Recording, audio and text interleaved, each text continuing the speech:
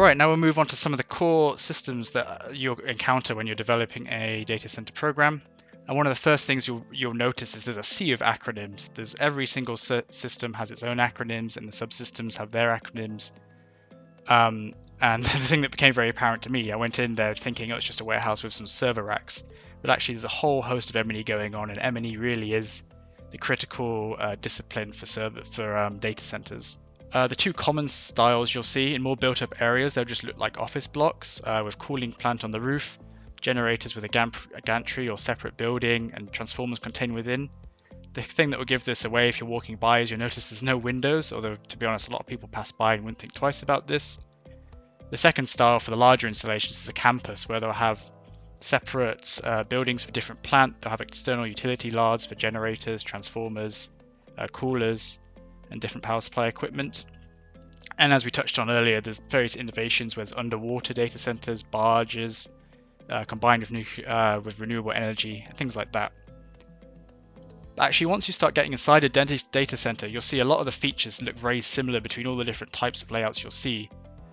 Um, so starting off with the white space, this is really where the servers are kept, and essentially, as the name implies, it's just a big white hall. It is where uh, servers will be put in either by the developers or the, or the tenants later on, and just filled up with racks. And we'll look at the cooling of these racks later.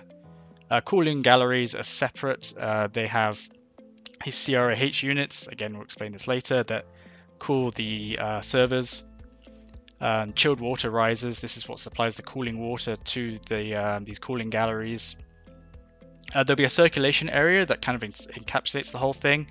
This is a service corridor for people to access and also for a lot of services to run. It might vary a bit depending on the building layout, but there'll typically be some circulation area. And then on this particular building, they had containerized UPSs, switchgear, and transformers, but on some buildings, this, each of those will have a separate room to contain them. And then again, generators, this was a, uh, a gantry system, but sometimes they'll be inside a, a, separate building or just in a utility yard. It really depends where they're set up.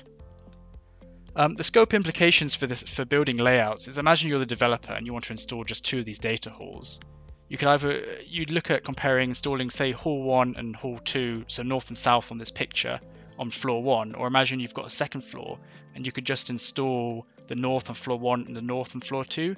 This would mean you'd only have to install half of your chilled water risers. And it's things like this that developers will look at going, how can we reduce the build time just for getting some of the building ready? How can we reduce the initial cost? So that'll always be on their mind and it'll probably come through in the program. Uh, something else you should keep in mind when you're sequencing is the, the cutaway on the right for the uh, corridor. There'll be a very strict order of what's at the top of the corridor, what's at the bottom, and generally you want to install those services as they happen. So in this case, the smoke extract duct will be the first thing to go in.